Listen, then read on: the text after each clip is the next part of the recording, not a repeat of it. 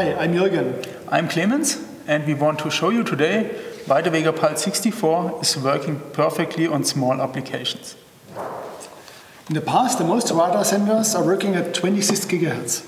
The antenna system and the process connection was very big, so it was not suitable for small tanks. With the VEGAPULS 64, we are working with 80 gigahertz. The antenna is much smaller, so it's perfect for small applications. We have a small tank with us. That's a 0.5 liter PET bottle. This is not a typical tank for our radar sensor, but this is a perfect tank to show the performance of the VEGAPULS 64. So at the moment, you can see here with the Bluetooth connection on the tablet, we have 0.5 liters inside of the bottle. So let's change the level a little bit.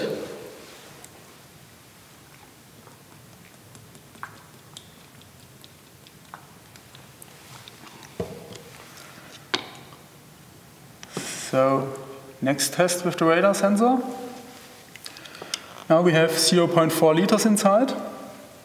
So there's still a lot of water inside, Jürgen.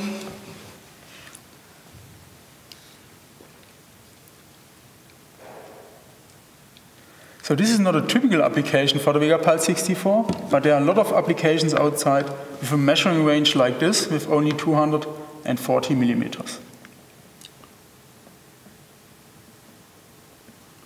So what's the level now? Now we have 0.24 liters, but should we empty it?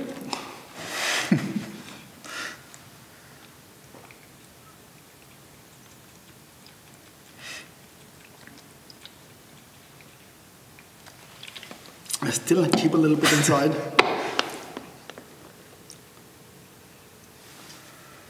So the sensor is also measuring now. And have a look on the reading of the sensor. Now we have 0.02 liters inside, so it's nearly empty. Again? But it's not empty.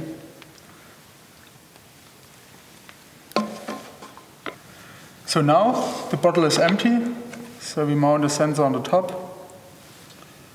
And sensor is measuring now, and you can see it's 0.0 liters. VEGAPULS 64 the radar sensor with the smallest antenna in the world, ideal for small process connections and small vessels.